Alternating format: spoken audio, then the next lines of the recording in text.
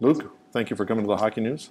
Welcome. It's great to be here. Is it? Oh yeah. hockey news. Come on. exactly. When did uh, when you were growing up? When did you sort of first come across the Hockey News? Uh, Uh, I came across the hockey news. I think I was uh, 16, 17 years old. It only happened to me. I saw it. I think when I was playing hockey in Hull, Mhm. and I actually saw it in Ottawa Hmm. for the first time. You know, because uh, it wasn't around Montreal too much. You know, especially like my neighborhood was mostly French, Mhm. so they didn't have a lot of English publication at the time. So I didn't see it until then. But then, you know, obviously, like any good hockey player, I became a you know a member and just kind of got it on a weekly basis. Right. Well, it's uh, you know we wanted to talk to you a little bit about your uh, your business career. Mhm. So after you retired from playing, you decided that you wanted to get into the business side of things. Yeah. Now I've known you for a long time, and when you were playing, you were always interested in business. You know, you were always asking questions about business and different things. You were always curious about, even when you were on the ice.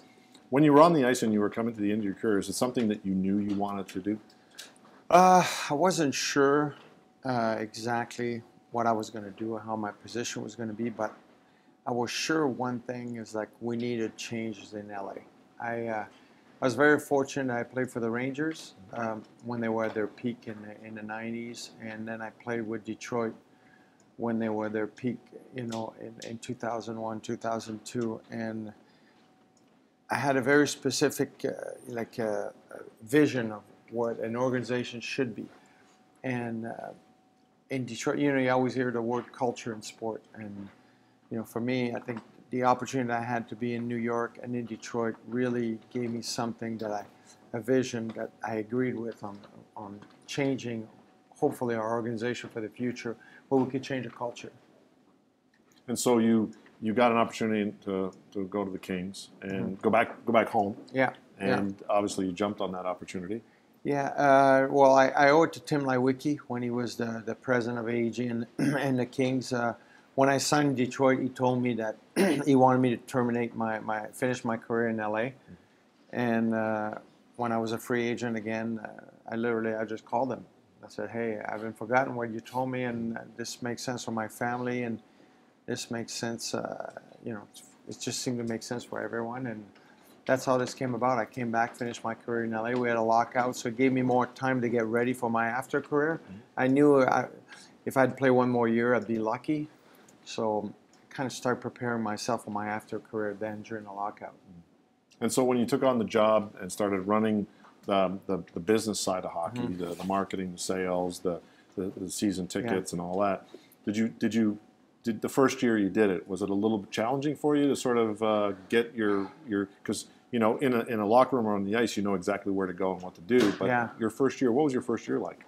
Uh, my first year was uh, was interesting because um, you know when I retired the first year off of retirement, I became a consultant. So right away, I asked uh, Tim Leiweke if I could be on the main floor of a, the AEG company just to to learn everything that was going on uh, along, uh, around the company and. Uh, and then uh, the other thing that I, I asked is if I could attend every Kings meeting, like you know, and uh, and I did.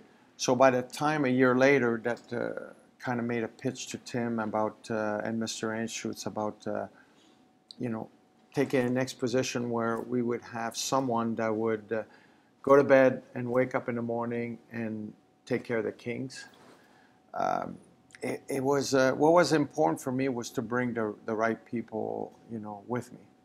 I was very lucky that uh, at the time a fellow named of Chris McGowan was available to come with me, and I think he started as a CMO, became rapidly a CEO. Today he's the CEO of uh, a company that owns a Portland Trailblazer, and uh, and uh, I think he's uh, he's part of uh, running even the Seattle Seahawks now. So he was a really smart guy. So I, I brought in with me someone that was smarter than me. so that really helped me. And uh, we kind of went along and uh, we, we started building our own staff, our own sales staff, marketing staff, and so forth. And we took that year to build it. But uh, I learned quickly that if you surround yourself with good people, you're going to do well. Isn't that like a team, any team when you think Yep. about it? Yeah, it's I built it like a hockey team. It was about we knew, you know, if you're gonna want to win the Stanley Cup, you're only as good as your fourth line. You're gonna have your star players, and they're gonna have to produce to get on the playoff run. But if your fourth line outplays the other team's fourth line, you're gonna win, and uh, that's kind of like the way we built our team. So that was what year was that? That you first year? This is, um, uh, I think I retired in 06, 06, so it would be 07, 08, yeah. So you've got ten years under your belt now. Yeah. And so from from then to now, what's the biggest change in you as a business leader today as it was ten years ago? I think I'm off on the time because it's my 12th year this year. So, I'm like, wait a minute. Wait a minute, you said wait, 10. 10. I thought it You're right on the, on the calculation. I'm off on it. But um, um, I think from from then, you know, I just know more.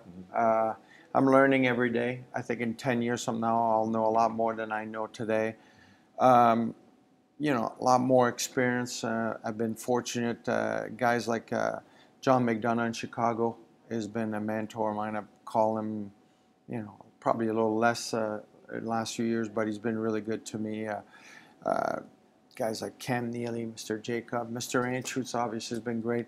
Our, C- our present CEO for AEG, Dan Beckerman, and these guys have been really good to me on helping me along the way. And I would say, you know, I knew then that I had to learn to be really patient because as a player, when you have a bad game or a bad moment, you get up the next day, you have a practice, and the next game, if you win, everything goes good, you just move on.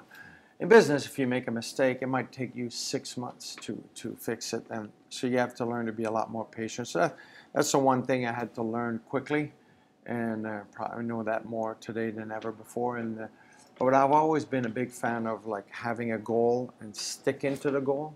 We did that in 2007, and we're doing the same thing today every year. So when you wake up in the morning now, taking care of the Kings, do Mm-hmm. you and forget about the, the hockey side of business, the Yeah. hockey side, what's on the ice, the product on the ice. When you wake up now and you know you're charged with taking care of the Kings, what's the big challenge for you from a business point of view? Uh, well, we have very, very high expectation in LA. Uh, our expectation, we always, our goal is not to be the best organization in hockey, is to be the best organization in sport. So it goes by how we treat people and and the way we go about it. Uh, you know, we were very fortunate. We won it in 2014, the best organization in sports. But it's, uh, I- would say, when I wake up in the morning now, is unfortunately in sports you do go as your team is mm-hmm. performing. Mm-hmm. So it's it's been challenging. Now we have a lot of new young sales staff and the team hasn't performed well. So it's about keeping them up and keeping them to believe in what they're doing every day and uh, but at the same time the vision of our team our organization hasn't changed you know win or lose we, we don't change we we know every once in a while if you're looking it's almost like you assume there's a tunnel there's a light at the end every once in a while you'll have to open a door on the side and take a look and maybe make a, a move or something but you know what we're setting out for it hasn't changed Has your experience on the ice, uh, the leadership experience on the ice, Uh-huh. being an alternate captain and you know being a, a winner all the way through, Yeah. um, does that impact how you operate business wise? Uh, yeah, I, uh, the way we operate our organization is a lot like the way a hockey team would be. Uh, you know, everybody's going to work hard. Everybody's going to, you know, give their best. But uh, you're only as good as your weakest link, and uh, and I know that. So, so a lot of the way we operate or talk to our staff is always in that vein. Just like we have to, to have everyone on board into what we're what our goals are. Yeah, that's that, that's that's what it comes down to, really. I Yep. to constantly. So, like when you, you know, you're running this business now, and it's a it's a it's a multi-million dollar big enterprise. It's a lot of responsibility. So Yeah. What what do you see into the future as from from a revenue possibilities? You know, new revenue streams, gambling, um, uh, esports. Where where is it going? Because at some point in time, you can only charge so much for a ticket. Yeah, I mean, I- think when we looked, our uh, the LA Kings have, have done real well in the last ten years.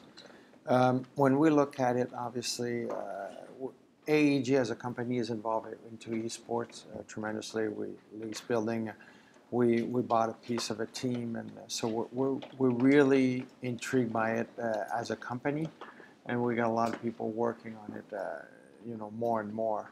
So I think there's an upside there. Um, you never know which game the kids are going to get to, and even though you're trying to get the right game, you just don't know what they're going to do. And it's a, it's still what's it's, there's a cool factor of being on the underground, even though it doesn't seem to be anymore. You know, um, I do think uh, the next um, uh, TV deals coming up are going to have a huge impact in our game. I think it could change from both sides, from the player side and uh, and the team side. And uh, obviously, the gambling is something that we're already seeing a couple teams that are doing real well with it. And uh, if it's something that uh, we do it right, uh, you know, it's going on in our world. It's been going on for years. So, so I'm very happy we have an opportunity to bring it in house and kind of control it better. And I do see that there'll be a lot more revenue uh, just with uh, those few things, obviously. But I think the distribution of, of the game is what's most important. Thanks, Luc. Appreciate you coming by. All right. It's good to see you as, as uh, Thank usual. you. Great to see you. Thanks, man.